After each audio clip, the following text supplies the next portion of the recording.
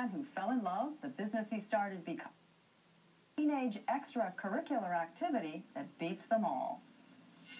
The everyday goods of the disappearing Amazon tribes of South America are works of art in our modern world, sought after by collectors. And in California's Central Valley, enthusiasts will find a most unusual Amazon art dealer. It's worn during the uh, Xingu fish ceremony to summon the water spirits.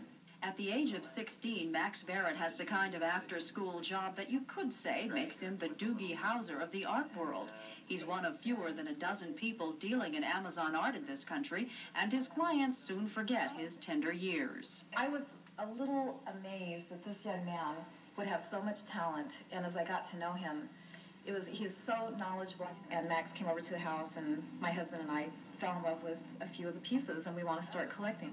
When they put it in the blow gun, it gives it a little bit of air resistance so it can fly. From curare dipped blow darts, ceramics, baskets, figurines, and feathered headpieces to jewelry, Max Barrett fell in love with this vanishing art form of the rainforest tribes.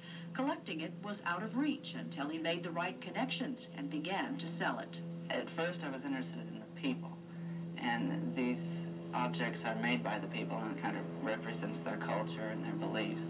So it, it's not something they make for a commercial sale. Barrett is completely comfortable in the very adult world of art dealing. His prices are firm, his two-year business successful. So what do his teenage friends think about his part-time job? I haven't told them. Well, they're about to find out. They are about to find out. It's going to be a surprise. Now, Max Barrett says his Amazon art dealership is not going to be his life's profession, but it may help pay for the medical school education he'd like to pursue. Richie says he's going to be a reconstructive surgeon. Well, gosh, I mean, the way he's going, he's, he's going to do it. How did he make these connections? I mean, 14 years old when he started. Yeah, exactly. He saw the exhibit at the Fresno Art Museum a couple of years ago. Uh, the man who, whose collection that was put him in contact with uh, uh, a dealer in Tucson, and he's been traveling to Tucson and picking up stuff like this ever since. See an armadillo here? Yeah. Actually, the stuff is, is not as uh, as expensive as you might think. There are certainly some of those elaborate headdresses and long, huge pieces, maybe three, four thousand dollars.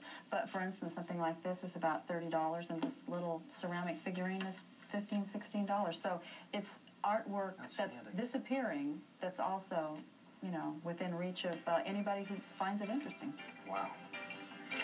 All right, Sherry. Neat kid, yeah. yeah. Sherry, what's going to be like tonight? I like the armadillo. Well, uh, maybe not as dry as that armadillo is used to tonight. we could have a few sprinkles left in the valley as this moisture moves out.